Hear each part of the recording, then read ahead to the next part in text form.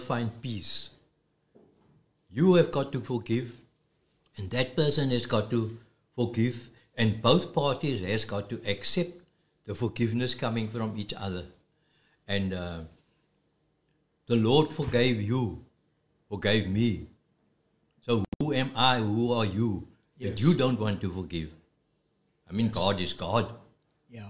a big, big God that that loves us. He cares about us. He he, he desires to give us peace and love Yeah. and share with us, comfort us Yes. in times of, of death. Yeah.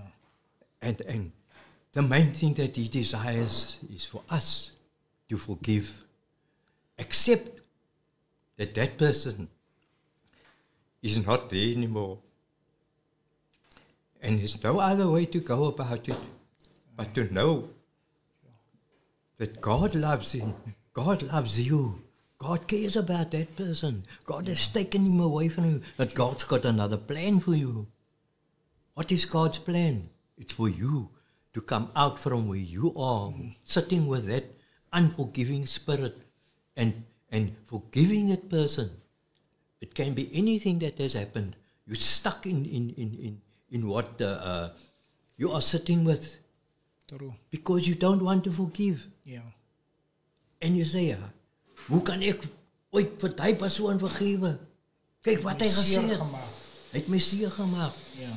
You hurt me so terribly. But that is where it is.